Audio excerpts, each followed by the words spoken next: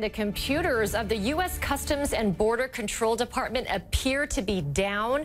We are hearing that this is a nationwide outage, but that computers are slowly coming back online. Now, officials say uh, it is affecting airports in Atlanta and Miami and most likely many others. Customs officials are manually processing international passengers at the moment.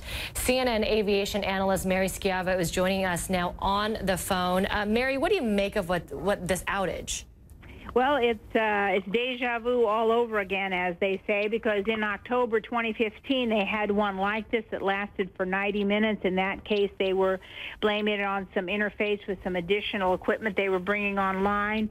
Um, say a year ago, October, they got it back online within 90 minutes. But this is coming as as people are coming home from uh, holidays, and and the travel today is particularly heavy at the wrong time. Now they say they're going to do it. They're going to check people in manually but it's very difficult because now everything is computerized and online. So I would expect that, that people coming in can possibly be waiting for the computers to get back up. Yeah, obviously, a huge inconvenience for travelers who have to uh, be delayed and wait as uh, these things are being processed manually. But do you see any security issues from this outage?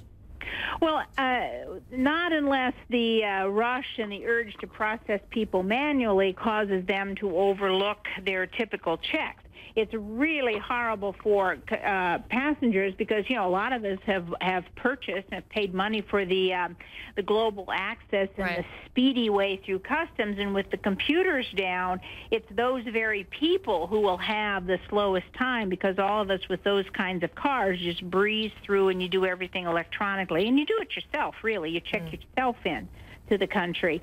But uh, yeah, uh, certainly there's a security risk if they aren't really able to check and fully check people coming in, and there's a pressure to skip the checks, and that's going to be particularly difficult. Also, the computers allow them to match names with the databases and the watch lists. And so the computer plays lots of functions aside from just speeding us through the airport. That's where the databases are stored. So, yes, if they're pressured to skip those checks, there could be security issues.